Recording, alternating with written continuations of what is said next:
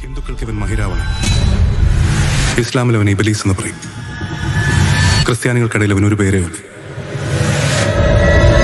Lucifer.